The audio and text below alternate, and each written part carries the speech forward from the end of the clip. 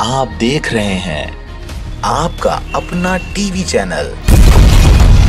RJ रमझाझर। जज्बात के रंग, भरोसा के संग।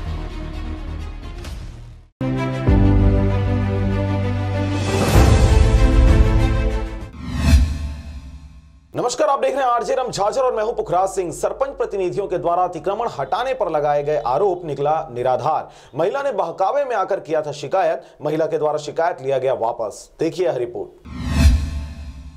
खबर है मस्तूरी विकास खंड के ग्राम पंचायत चिल्हाटी का, जहाँ बीते दिनों अतिक्रमण हटाने की कार्रवाई पंचायत द्वारा की गई थी, जिसमें एक महिला द्वारा सरपंच पति सहित अन्य के खिलाफ थाने सहित अन्य जगहों में शिकायत की गई थी कि उनके घर को तोड़ने की कार्रवाई के दौरान सभी व्यक्तियों ने उसके साथ दुर्व्यवहार करते हुए जातिगत गाली गलौज किया था और जान से मारने की धमकी दी थी। मामले में महिला ने 15 दिसंबर 2020 को बकायदा चिल्हाटी थाने, आज़ाद थाने और पुलिस अधीक्षक कार्यालय तक आवेदन देकर शिकायत दर्ज कराई थी। लेकिन अब उक्त मामले में शिकायतकर्ता महिला द्वारा इसी मामले में खुद को बहकावे में आकर इस मामले को दर्ज कराने की बात कही जा रही है, जिसने मीडिया में दिए अपने बयान में बताया कि उसने पैसों के लालच में आकर और किसी व्यक्ति के बहकावे में आकर यह निर्णय लिया था। लेकिन अब उसे एहसास हो गया है कि उसने गलती की है। पंचायत की कार्रवाई जायज़ थी और उससे उन्हें कोई शिकायत नहीं है, बल्कि उन्होंने अपनी शिकायत वापस लेने की बात भी कही है। बहरहाल शिकायतकर्ता महिला कमलेश्वरी बाई ने यह स्पष्ट करते हुए पिछले दिनों किए गए अपने शिकायत को झूठा साबित किया है,